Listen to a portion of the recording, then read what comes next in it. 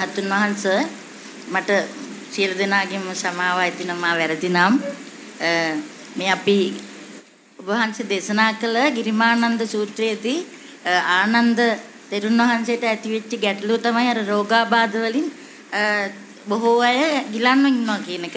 ඒතරේ ගිලන් බව තමයි නිත්‍ය බව, සුභ බව, රාග බව කියන ඔය යමක් මේ පැවැත්ම තුල තියෙන නිත්‍යසේ ගන්නවා නම් ගන්න රූප වේදනා සංඥා සංකාර කියන පංචස්කන්ධය උපාදානය කරගන්නවා. එතකොට සියලු දුක්ඛිතා බාධ රෝහ බාල යන්නේ. ඒ වගේ මේ ඇහැ කන නාසය දිව කයට ආරමුණු වෙන රූප ශබ්ද ගන්ධ සුවඳ රස මමත්වයෙන් අත්සේ ගන්නවා. අත්තාතියෝ වදෙයි. පරිද්දයක් ගන්නවා. ඒ අනුව උපාදානිය සිද්ධ වෙනවා. ඒ වගේම මේ මේක බෙදලා බලන්න දන්නේ එක gediya පිටින් ඝන සංඥාව හැටියට ගන්නවා. ප්‍රියමනාපසේ. ඒක මේ ගිරිමානන්ද සූත්‍රයේ ඔක්කොම තියෙන්නේ අර උපාදානයේ මිදී නිදහස් වෙන්න කරුණු ඔය කරුණු සියල්ලම තියෙන්නේ උපාදානයේ මිදී නිදහස්. එකින් එකම එකින් එකම උපාදානයේ මිදී නිදහස් වෙන ක්‍රමයක් කියලා දීලා තියෙනවා. පැහැදිලි හරි තුන්වංශ තව පොඩි ගැටලුවක් තියෙනවා. අර සංකාර කියන තැන පුඤ්ඤාභි සංකාර එතන අනෙන්ජාභි සංකාර කියන එක පොඩ්ඩක් විස්තර කළා. දැන් අනෙන්ජාභි සංකාර කිව්වේ අනාර්ය ඥාන. අනාර්ය ධාන අනාර්ය අභිඥා දෙකම අනඤ්ඤාභි සංකාර. අනාර්ය ධාන දැන් අර කොණ්ඩඤ්ඤ වමුණා අනාර්ය ධාන අනාර්ය අභිඥා ලැබලා තිබුණේ. ඒවා අනඤ්ඤාභි සංකාර. හැබැයි යා දැනගෙන හිටියේ නෑ අභිඥා ලැබුවත් ධාන ලැබුවත් එයා බ්‍රහ්මත්වයට යන්න හිටියේ. කොහාටද යන්න හිටියේ? දැන් අර කොණ්ඩඤ්ඤ වමුණටත් වඩා බලවත් මේ ධාන ලැබූ පුද්ගලයෙක් තමයි අසිත තවුසා. අටිට අවුසා ඇඬුවා. ඇයි? තමන් යන්නේ බ්‍රහ්ම ලෝකෙට බව දැනගෙන හිටියා.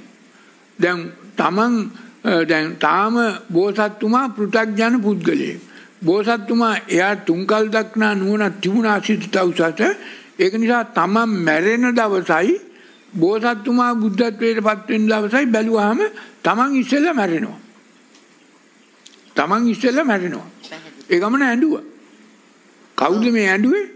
මේ අභිඥාලාභී ඉද්ධි ප්‍රාතිහාර්ය දාන බලවත්ම ඉර්ෂිවරු. ඈ බුදුහාමුදුරුවෝ බෝසත්තුමා මේ බෝසත් දරුවව දැකලා එයා බුද්ධත්වයට පත් වෙන බව දැනගෙන hina වුණා. නමුත් බුද්ධත්වයට පත් වෙන්නට පෙර තමන් මැරෙන බව, තමන් බ්‍රහ්ම ලෝකෙට යන බව දැකලා ඇඬුවා. දැන් බ්‍රහ්ම ලෝකෙට ගියාම මේ බණ අහන්න පුළුවන් නම් මේ බුදුහාමුදුරුවෝ බුද්ධත්වයට පත් වුණාට පස්සේ මේ ධර්මය අහන්න පුළුවන් තැනකට ගියා නම් අඬන්නේ නැහනේ. ඒ බ්‍රහ්ම ලෝකෙට ගියාම මේක අහන්න බෑ. මේක නේව සංඥා නා සංඥා තලයට යන්නේ. දැන් යාට වෙනස් කරගන්න ක්‍රමයකුත් තිබුණේ නැහැ. තේරුණාද? එතකොට එදා ඔය ධාන ලැබූ අභිඥා ලැබූ අනාථ ධාන අභිඥා ලැබූ මේ අයට වෙනස් කරගන්න ක්‍රමයක් බුදුහාමුදුරුව බුද්ධත්වයට පත් වෙනකන් ඒකෙන් මිදී නිදහස් වෙන ක්‍රමයක් නිස්සය සූත්‍රයක් දේශනා කරලා තිබුණේ නැහැ. බුදුහාමුදුරුව ඊට පස්සේ මේ ත්‍රිපිටකයේ තියෙනවා නිස්සය සූත්‍රය. ධාන නිස්සය සූත්‍රය.